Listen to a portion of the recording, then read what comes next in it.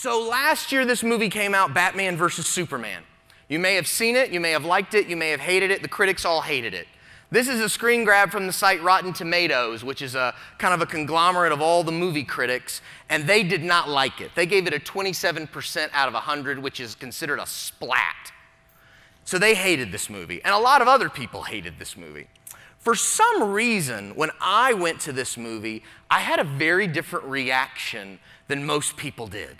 My, my response was very different. And in fact, I had kind of a deep reaction to it. So I decided to do something I'd never done before. I decided to make a video of me talking about the film.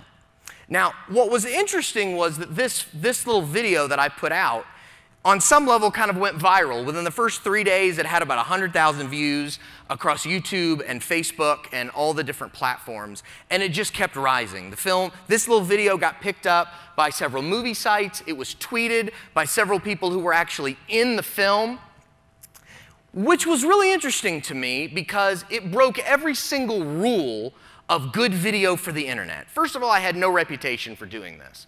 Second, the video is like 18 minutes long, which on YouTube is like an eternity. That's like an ant walking around the earth in YouTube time, right? Now, this, is, this whole video is just me talking to the camera for 18 minutes. There's no second angles, there's no shots from the film, there's no music, there's no graphics. It's just me talking for 18 minutes. Now, you've been listening to me talk for about 25, 30 minutes now. You know how painful that is. On the internet, that's multiplied.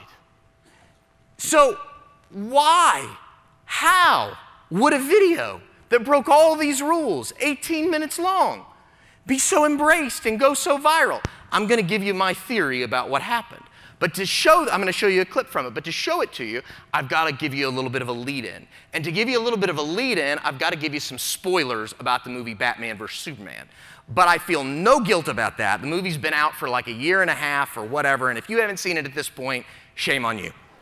So, there's this, so everybody's talking about Batman vs. Superman, a lot of people were asking themselves from the beginning, why are we making a movie about these two guys fighting? Why can't they be friends?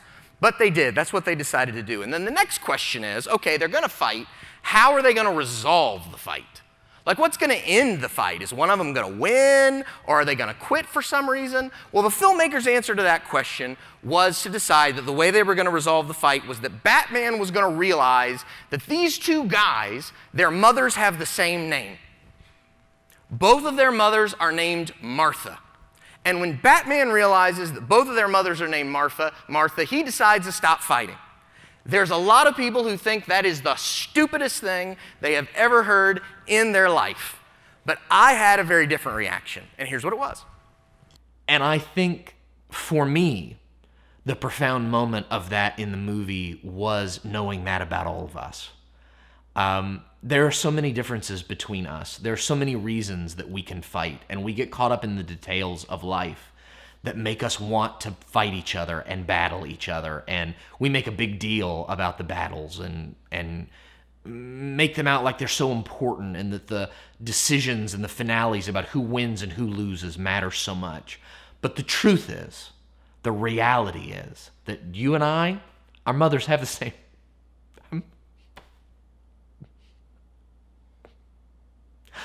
Our mothers have the same name. Our mothers have the same name, you and I. So when we were done filming, it's an 18 minute straight shot, no cuts. My cinematographer looked at me at the end and said, We're gonna cut that part where you cry, right?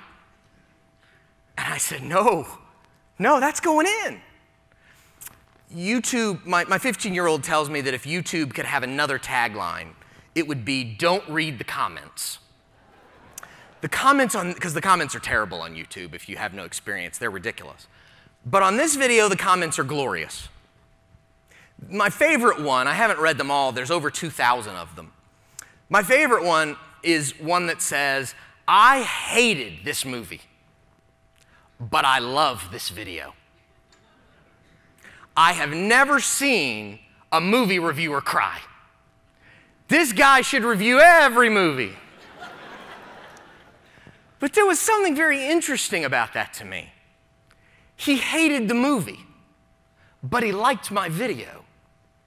And, he, and I looked him up, and he shared it on all his social media feeds for a movie he hated and said, You got to watch this video. And it made me realize something about the power of authenticity, of vulnerability, of openness, particularly in the face of a film that was being so reviled and hated. Everybody hated this movie, and yet they loved my review of it. And it taught me the power of keeping my heart open. It's hard to keep your heart open. Life's hard. Life's tough. You got people every day that are making life difficult for you. And what you want to do is shut down. But to do something extraordinary, you've got to have the strength to do the opposite and stay open. We sometimes talk about in business not making emotional decisions or not leading with your feelings. I agree with that, and that's true. But that doesn't mean there's not a place for humanity and openness and being and being in touch with your emotions and having a very high emotional IQ to go with your mental IQ.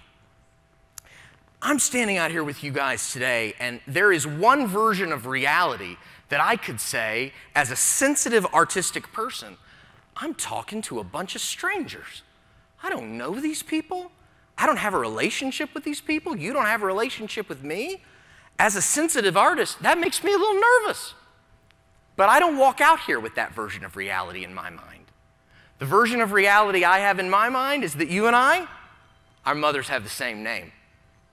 And because I know that, I can walk out here with great openness and show you a video of me crying and feel okay with that because I'm safe with you here because we're brothers and sisters and our mothers have the same name. That kind of openness, people know it, they feel it. And safety is incredibly important in community building. We're overwhelmed by commercials that are trying to manipulate and control us, and we now can tell the difference between authentic and real communication that is human and manipulation. And when you can make people feel that you're a real person with an open heart, with authentic emotions, and you care about them and you're connecting with them, they open up too. And they want to connect with you and help you in unique ways.